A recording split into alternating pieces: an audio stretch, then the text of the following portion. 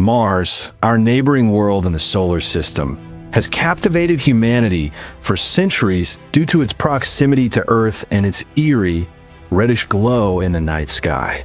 As the fourth planet from the Sun, it's about half the size of Earth, with a thin atmosphere mostly composed of carbon dioxide and surface temperatures that can plummet to minus 195 degrees Fahrenheit at the poles.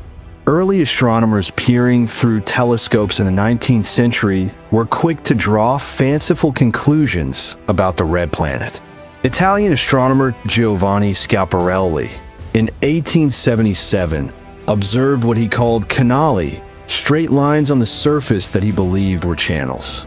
This term was mistranslated into English as canals, sparking wild speculation. American astronomer Percival Lowell went further, proposing that these were artificial waterways built by an intelligent Martian civilization to irrigate their dying world. For decades, popular imagination ran wild with ideas of Martian life, fueled by science fiction like H.G. Wells' War of the Worlds. But as technology advanced, these illusions began to fade. What appeared as canals were optical illusions caused by the limitations of early telescopes. And the changing colors on Mars' surface were due to massive dust storms that sweep across the planet, redistributing its iron-rich soil and giving it seasonal variations in appearance.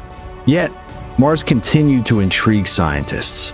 It wasn't just a barren rock, Orbital observations hinted at polar ice caps, vast canyons, and enormous volcanoes like Olympus Mons, the tallest mountain in the solar system, towering over 13 miles high. The planet's two small moons, Phobos and Deimos, added to the mystery, possibly captured asteroids from the distant past. These early glimpses set the stage for the space age, when humanity would send robotic explorers to uncover the truth. Over the decades, Mars has proven to be a harsh and deceptive world, but our persistence has revealed secrets about its ancient history, potential for past life, and even resources that could support future human endeavors.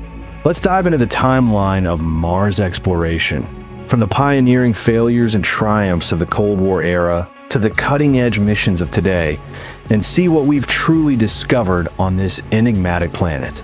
The most intense push to conquer Mars came during the 1970s, at the height of the space race between the United States and the Soviet Union. In 1971, the USSR launched two ambitious probes, Mars 2 and Mars 3. These spacecraft embarked on a grueling journey of over six months, covering more than 200 million miles through the void of space. Their goal was to become the first human-made objects to softly land on another planet. Mars 2 met a tragic end, entering the Martian atmosphere at too steep an angle and crashing into the surface amid a raging dust storm that blanketed the planet. Mars 3 fared better, at least initially, it used an aerodynamic cone to shield itself during descent, slowing down through atmospheric friction. At supersonic speeds, a small pilot parachute deployed, followed by the main chute once the velocity dropped to subsonic levels. The lander touched down successfully in the southern hemisphere, but communication was short-lived. Just 14.5 seconds after landing, the signal cut out, likely due to the dust storm interfering with transmission or the orbiter moving out of range. Despite the brevity, Mars 3 beamed back the first ever image from the Martian surface.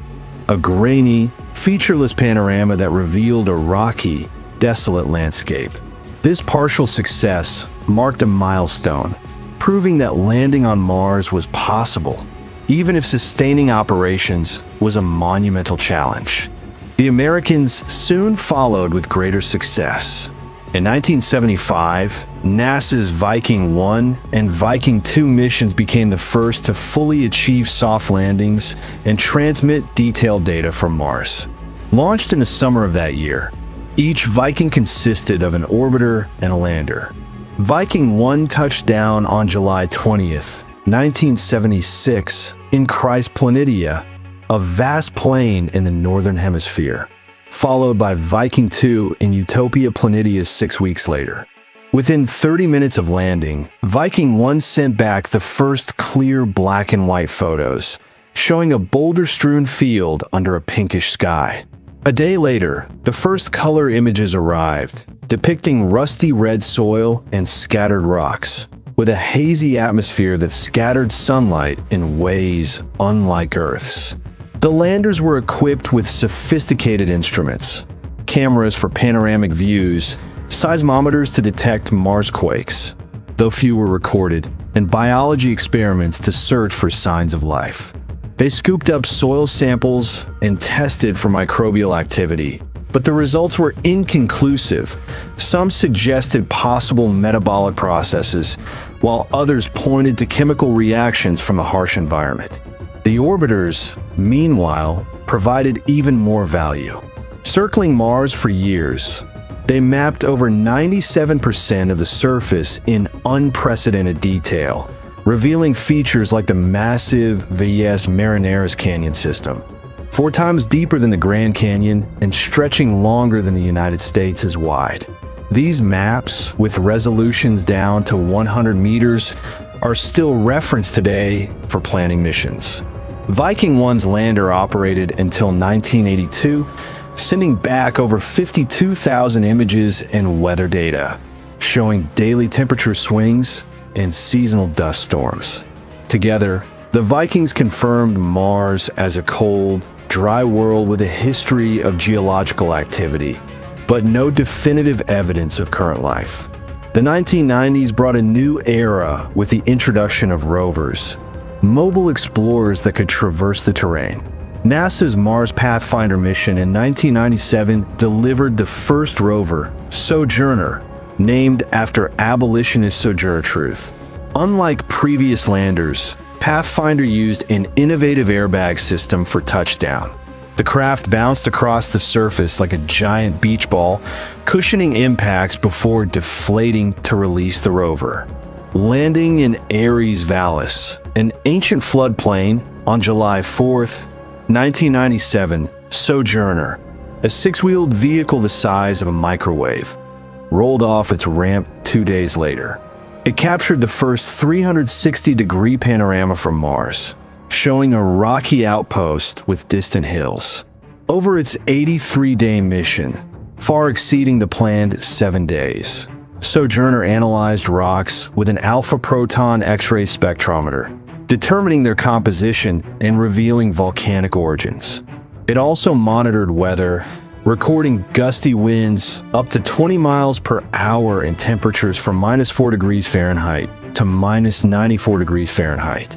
The rover's solar panels and rechargeable batteries allowed it to operate independently, but cold nights eventually drained its power, likely freezing its electronics.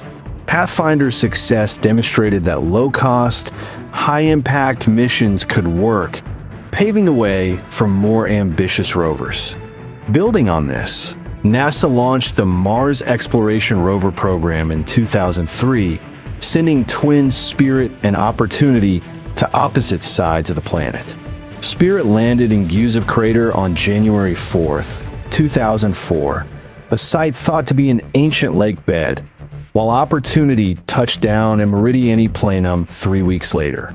Both used the airbag bounce method and were designed for 90 Martian days sols of operation, but they shattered expectations. Equipped with panoramic cameras, spectrometers, and rock abrasion tools, they hunted for evidence of past water. Spirit discovered signs of hydrothermal activity including silica-rich deposits indicative of hot springs, environments on Earth teeming with life. It operated until 2010, when it got stuck in soft sand and couldn't recharge its solar panels during winter, leading to its death from the cold after traveling 4.8 miles. Opportunity, nicknamed Oppie, was a legend. It found hematite blueberries, spherules formed in watery conditions, and explored Endurance Crater, revealing layered sediments from ancient seas. Despite challenges like a jammed robotic arm in 2007 and memory issues fixed by software updates in 2014, Oppie roamed for over 14 years, covering a marathon distance of 28 miles by its end in 2018. A massive dust storm that year blocked sunlight, preventing recharging, and NASA declared it lost after 5,111 sols. These rovers confirmed that Mars once had abundant liquid water, reshaping our understanding of its habitable past. The 2010s escalated the hunt for life with Curiosity, part of the Mars Science Laboratory mission. Landing in Gale Crater on August 6, 2012, via a revolutionary sky crane system, where rockets lowered the rover gently to the surface. Curiosity is the size of a small car, powered by a nuclear radioisotope thermoelectric generator for longevity. Its suite of 10 instruments includes lasers to vaporize rocks for analysis, drills to sample interiors, and cameras for stunning selfies. Curiosity's primary goal assess if Mars ever supported microbial life. Climbing Mount Sharp, a three mile high mound in the crater, it found complex organic molecules in 2014, carbon based building blocks of life, not contaminated from Earth. Further discoveries included methane spikes in the atmosphere, possibly from geological or biological sources, and evidence of ancient rivers and lakes that persisted for millions of years. As of 2025, Curiosity remains active having driven over 20 miles and celebrating its 13th year with upgraded AI for autonomous navigation, allowing it to avoid hazards and select targets efficiently. Its findings suggest Mars was once warmer and wetter, with conditions suitable for life billions of years ago. Recent missions have built on this legacy. In 2021, NASA's Perseverance rover landed in Jezero Crater an ancient river delta with the Ingenuity helicopter, the first powered flight on another world. Perseverance has collected over 30 rock cores for future return to Earth via the Mars Sample Return mission planned for the 2030s. It detected organic compounds and mapped subsurface water ice. China's Tianwen 1 orbiter and Zhurong rover, also in 2021, explored Utopia Planitia, finding evidence of recent water activity. The European Space Agency's Mars Express, orbiting since 2003, continues to detect subsurface lakes of liquid water beneath the South Pole using radar. As of August 2025, these probes are revealing Mars dynamic geology, with Marsquakes detected by NASA's InSight lander, which ended in 2022 showing a molten core. Human footsteps on Mars remain a dream, with NASA's Artemis program aiming for the 2030s in private ventures like SpaceX's Starship accelerating timelines. Proposals for colonization include domed habitats, extracting water from ice, and even terraforming by releasing greenhouse gases to thicken the atmosphere. We hope this deep dive into Mars exploration has sparked your curiosity. Give it a thumbs up if it did. Stay tuned for our next episode on colonizing Mars. Don't forget to subscribe and hit the bell to catch it.